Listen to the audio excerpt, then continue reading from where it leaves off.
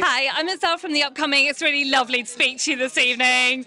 So, can you tell me a little bit about what it felt like to come back into this for a second season and, and what kind of journey you go on this time round? Yeah, it was great coming back into the second one. You know, it's you know, it's something I've never done before personally, and um, you know, it's the same. It's the same DNA as the first series, um, but again, blown wide open. Uh, we're not as contained anymore. Like it's not on the ship. It's very, a festival now.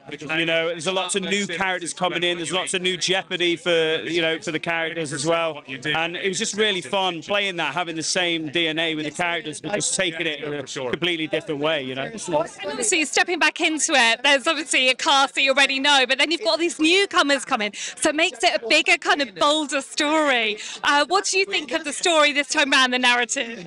Yeah, I mean, uh, Ryan's stories are like it's, it's always been incredible reading from you know season one, and I think everyone conglomerately when they read the second series, like, wow, we are really in for something bigger, bolder, bloodier, sexier. You know, I, I'd say it's like the it's the older sibling to the first series, so it's it's yeah, so it, it naturally, um, you know, a, a lot of the characters, you know, went through quite a bit of trauma at the end of the first series. Even mine, is, mine too. You know, and he's a nightmare. So it's that thing of putting the, the characters in different set of circumstances. There's different dangers about, and yeah, hopefully the audience can really take to that and enjoy it. You know. So. Are there any kind of standout moments for you on set as well with them? I was saying before, I was like, it's so boring to say everything, but I was like, every moment on set is just so nice. You know, the word family, I guess, is like bad about quite a bit in, uh, you know, in film and TV and anything really. But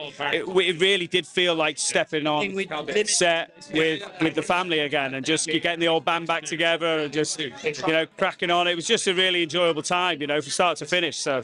Thank you so much for speaking to me. Enjoy your evening tonight. Thank you. You too.